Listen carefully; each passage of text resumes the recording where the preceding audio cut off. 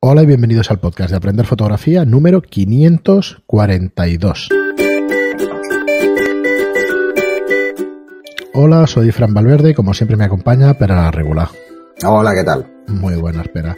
Ya estamos aquí otra vez con otro episodio de Aprender Fotografía, el 542, y sabéis que estamos con la serie de fotógrafos, que vamos descubriendo fotógrafos para vosotros y nosotros mismos también vamos descubriendo fotógrafos. Ahora pues llevamos una, unos cuantos programas con una serie de fotógrafos que además de ser grandes fotógrafos son grandes vendedores de sus fotos, ¿vale? Estamos hablando de fotógrafos contemporáneos que se ganan la vida con distintas disciplinas fotográficas y que realmente llaman la atención por por un lado, conocer la técnica estupendamente y por otro lado, conocer la manera de vender estas fotos pues estupendamente también.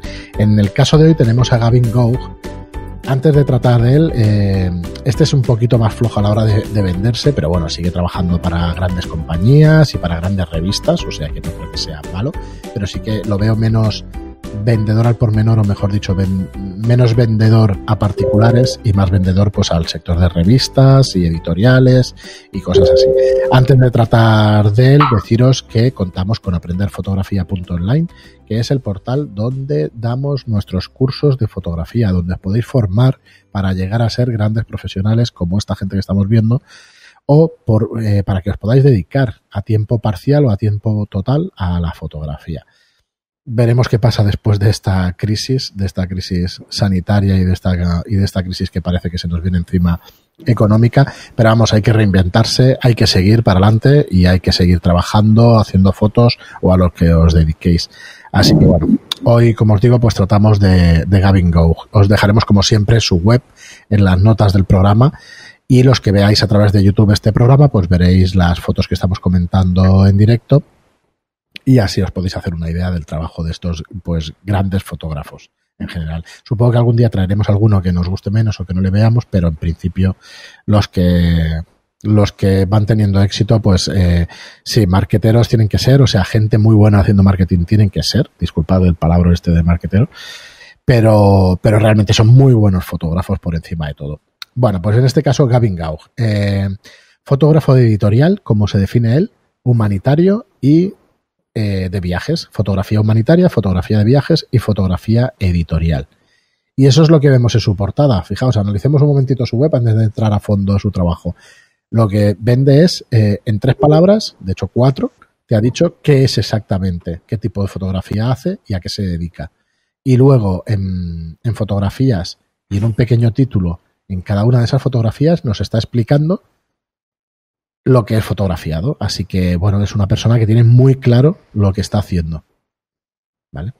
A partir de ahí, Pera, pues nada, las imágenes son tuyas. Yo sé que este tipo de fotografía te gusta más, ¿no? Que la fotografía de, viajes que veíamos con. Cuenta historias. Sí. Cuenta historias. Y a mí me interesan más las historias de la gente.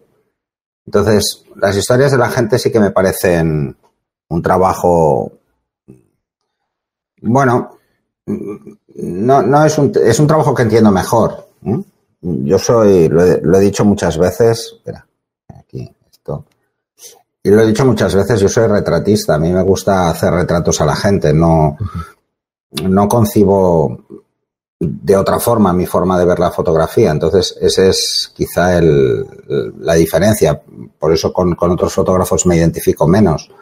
Lo que hace este hombre, pues sinceramente, me parece muy interesante, sobre todo que se mete en una historia. Por ejemplo, eh, cuando él habla de, fotografía humanitaria, las fotos que, he estado viendo suyas, a lo que se refiere es más de denuncia, ¿no? De denuncia de cómo están las situaciones en algunos países.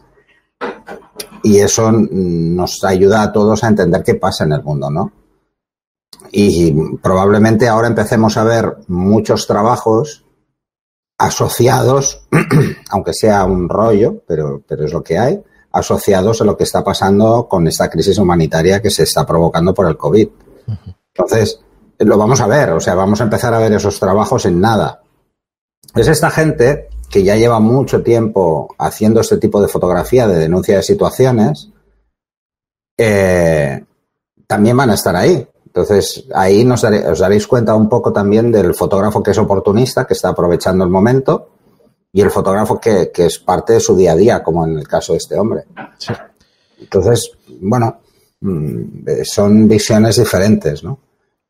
Eh, además, si os fijáis en sus fotos, se olvida de cualquier filigrana, de cualquier... Eh, eh, perdona, espera, solo un segundo. Hemos visto unas cuantas fotos de elefantes del paisaje y se olvida hasta de borrar a los turistas. O sea, esto sí que es foto documental. bueno, porque es periodista. Pero lo ha dejado ¿eh? directamente y está hecho a posta al 100%. Porque es, porque es periodista y en realidad es el contraste que establece es ese. El contraste que establece es cómo está viviendo la gente eh, y cómo el turismo sigue estando por allí, ¿no? Es una forma también de, de, vender una escena de que esta gente, pues muchas veces el turismo la salva o salva de que las condiciones sean todavía más precarias. Joder, mira, esto, Entonces, okay, esto es espectacular. Estamos viendo una serie de fotografías eh, de Mongolia que parece que haya desaparecido esa, eh, ¿cómo se llama? Esa, esa, ese nomadismo, ¿no? De las tribus y tal. Y aquí vemos a una familia que no es nómada, pero prácticamente tiene, se trabaja directamente en el campo con ganadería, tiene cuatro caballos y parece que estén en, en, chabolas directamente trabajando pues del campo, vete tú a saber, supongo que después venderán estos animales en, en las ferias pertinentes y en todo esto, pero vamos, parece que estemos en el siglo XVII, XVIII. Madre mía. Bueno, eso, eso, es quizá. El otro día, precisamente en la televisión, estuve viendo un, un reportaje sobre Mongolia. Mira qué pasada, sí. Y me fascinó. Me fascinó. Mm. Me fascinó el. No solo el, el hecho cultural de, de, de, las diferencias tan importantes, sino cosas como. Cosas que hemos olvidado en Occidente. Uh -huh. en, de forma brutal y es, es gente, pues, como súper amable y súper cordial y no sé, no es, es, otra historia. Probablemente esta gente esté disfrutando mucho estos viajes. Yo antes viajaba muchísimo, por, por trabajo sobre todo, uh -huh. pero y te das cuenta de que cada país te aporta tantas cosas, tantas vivencias que, que si puedes hacer una inmersión y este hombre la hace porque realmente vive a caballo entre Tailandia y, y Austria, aunque es inglés, Sí, sí. Eh, te das cuenta de que, de que hace una inmersión. Estas fotos no las haces un día, un par de horas. No voy a hacer fotos a los nómadas para nada. en Mongolia. No, o sea, fíjate la luz, aquí está. Las, las, comunicaciones a Mongolia no brillan un poco por su ausencia. ¿eh? O sea, hay que pegarse unos paseos por lo que ellos llaman carreteras, que para nosotros son caminos de tierra, y para ellos son carreteras. ¿eh?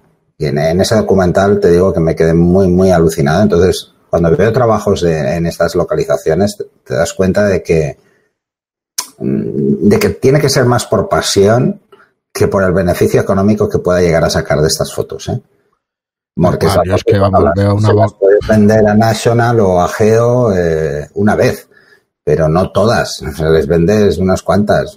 Y no, las revistas hoy en día no, no es que paguen barbaridades, ¿eh? sino que, que bueno, no, no, y tampoco lo veo como un fotógrafo que, que quiera eh, vender escenas que no existen de alguna forma, ¿no? Como otros casos. Uh -huh. son, son fotos mm, técnicamente, aparentemente muy sencillas. Aquí hay flash, ¿eh? Espera, estamos viendo una. Sí, aquí hay un flash. Aquí hay un flash. bueno, se. Nota, se nota, se bastante, nota. sí. Y la sombra de la azada es lo que más se nota. Está usando flash porque fijaros en la luz, ¿no? Aquí también hay flash. Eh, es un fotógrafo que lo que quiere es captar momentos y técnicamente se complica muy poco. Es, efectista en la foto y solo busca eso. Y esto me, eso me parece que para los fotógrafos que hacen documentaje documentalistas sociales es muy interesante porque te das cuenta de que de que dejan incluso pues cosas que en la fotografía no, no aportan mucho, pero que la situación no la están falseando al hacerlo.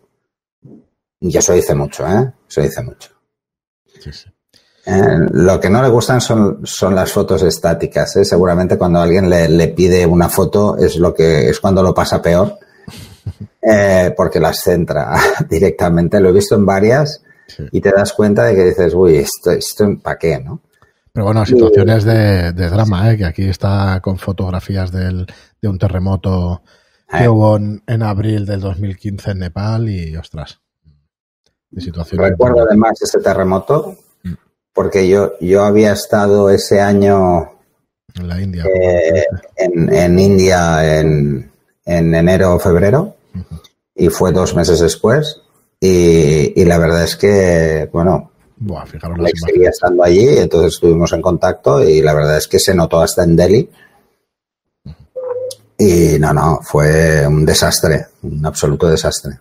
Yo no, no quiero exagerar, ¿eh? pero aquí corres peligro real ¿eh? de que te pase algo haciendo este tipo de fotos. Sí, sí, porque además existe un nivel de, de inconsciencia del riesgo ¿no? que tiene la gente normalmente cuando hay un, una tragedia de este estilo la gente se vuelca a intentar solucionar cosas o a buscar gente. te puede caer un casco. Y te puede caer el edificio en el que estás, puede caerte encima. De hecho, ha pasado muchas veces y, probablemente eh, sea fácil que pase.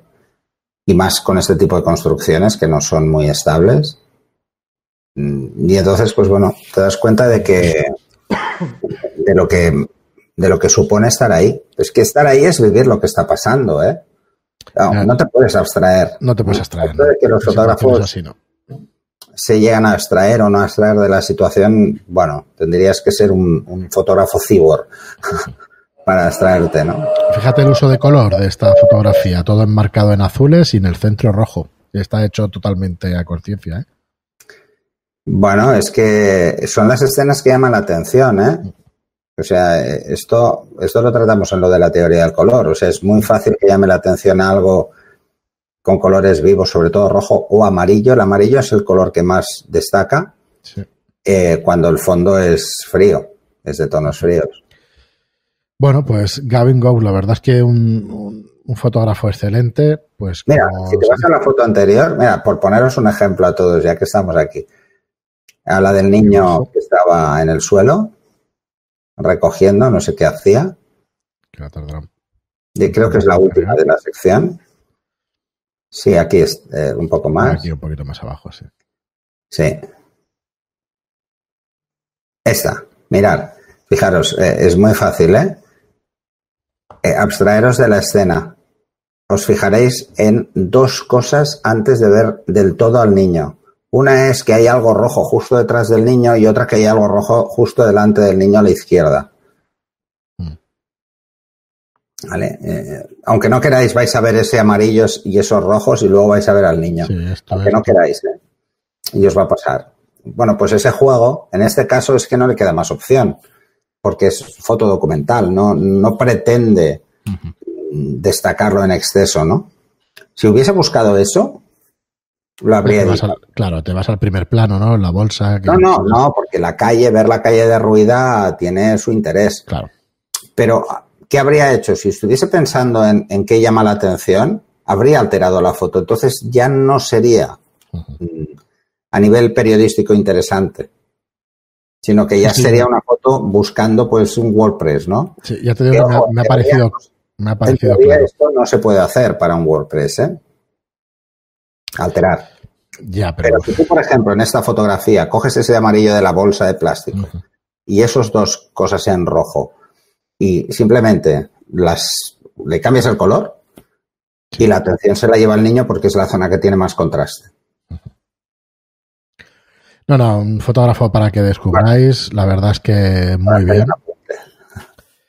Muy, muy chula su página web. Tiene Aquí estaba viendo en más, dice, eh, imágenes de archivo y Kodachrome presets. Mirad, eh, os decía que no era tan bueno con marketing y tal, pero vende unos presets aquí de Kodachrome para dejar las fotos como si estuvieran hechas con, con el carrete de Kodachrome lo cual es interesante siempre, aunque si sabemos de color, oh, mira, ahora meto yo el, la cuña de spam, si has hecho el curso de pena de teoría de color, pues puedes llegar a hacer estos resultados sin tener que pagar ningún preset ni ninguna historia. Al final es coger una foto hecha con Kodachrome y dejar los ajustes lo... Y con el que estoy preparando menos. ¿Verdad que sí? sí, menos, menos, eh, menos, porque estoy buscando hacer unos ejercicios que sean resultones para que lo veáis. Además va a ser un, ya lo he explicado en, anteriores programas, eh, estoy pensando en hacer un curso mucho más em, práctico. O sea, buscar una foto que no tiene nada eh, y darle la vuelta. O sea, que no tiene nada eh, en cuanto a, a, marcar ese tipo de situaciones, ¿no? Como es el color. Fijaos en todo. Un ejercicio muy divertido. Lo he subido a Instagram y le he preguntado a la gente si sabían cuál era el color real de la foto. ¿Y qué? ¿Cómo te ha ido ese experimento? Eh, al 50%. La gente escoge el color que ha alterado. Es curioso, ¿eh? La gente no se da cuenta de que ha cambiado el color en la foto y luego además eh, se queda precisamente con el que ha alterado. O sea, le gusta más y es porque he buscado eso. Conscientemente has alterado la foto para que quede más, pues, más llamativa o más. Exacto. es que no es tan fácil darte cuenta. El 50% acierta de cuál es el, la foto original. Y el otro 50%, el que no acierta, eh, es porque le gusta más. Y lo dice. Entonces es curioso, es curioso. Pues ese tipo de cosas son las que quiero que la gente vea en el curso. Muy bien, Pera, pues nada, dejamos aquí otro episodio más de Aprender Fotografía. Muchísimas gracias a todos. Dale un vistazo a este hombre que es muy interesante también. Ah, una última cosa. Fijaos que todos estos fotógrafos actuales y que se venden muy bien, todos tienen blog en su web. Recordad eso, es muy importante que tengáis contenido fresco para Google, para que Google os pueda mostrar más. Y el, hoy en día nos movemos por la inmediatez, por lo que es interesante para la gente, y eso es la definición de un blog, de un podcast, de lo que sea. Ha de estar vivo y ha de, has de renovarte día a día, ¿no? Tampoco hace falta que hagáis una entrada cada día. Aunque yo escuché una vez una cosa de, un, de una persona, de un experto en marketing, que es que sí, que sí, que todo cuesta mucho esfuerzo, que, que, tal, que no vale la pena escribir porque hay mucha gente ahí fuera. Y entonces él decía, dice, dice, todos estos argumentos a mí me parecen estupendamente, pero tú empiezas a escribir en un blog y escribe una entrada diaria. Una entrada diaria. Y dentro de 300, dentro de 365 días volvemos a hablar. Y me dices las entradas que tenías antes de escribirlas y las visitas que tenías a tu web después de esos 365 días a mí me parece un ejemplo muy ilustrativo de lo que puede llegar a ser pues, ofrecer contenido. Bueno, eh, vaya, ya está con el taladro. Ya del taladro. Eh, bueno, esto es una entiende, de las... ¿no? Pero lo que quiero decir, perdona. Sí, esto es una de las cosas que hablamos tú y yo hmm. uh, cuando hablamos del podcast. Sí, la periodicidad.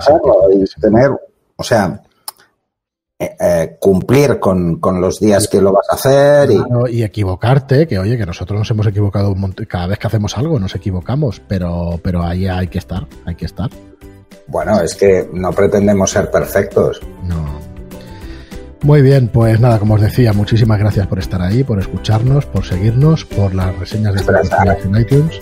Me iba a salir una, una, coña con respecto a uno de los últimos mensajes, pero digo, mejor no te la no, podemos no. Pues nada, muchas gracias por estar ahí, gracias por vuestras reseñas de 5 estrellas en iTunes y por vuestros me gusta y comentarios en iTunes. Gracias y hasta el próximo programa. Al siguiente.